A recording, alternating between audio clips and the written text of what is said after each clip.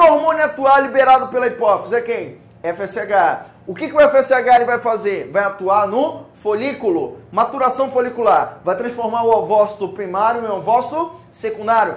FSH também vai fazer esse folículo liberar estrógeno. Então vai fazer ele liberar estrógeno. Qual é a função do estrógeno? Espessamento do endométrio, vai reconstruir.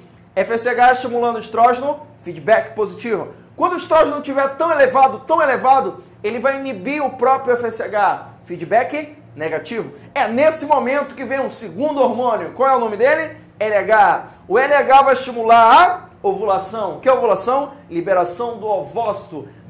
14 dia, dia fértil da mulher, é o LH alto. Esse LH também, por sua vez, vai fazer esse folículo aqui virar corpo amarelo.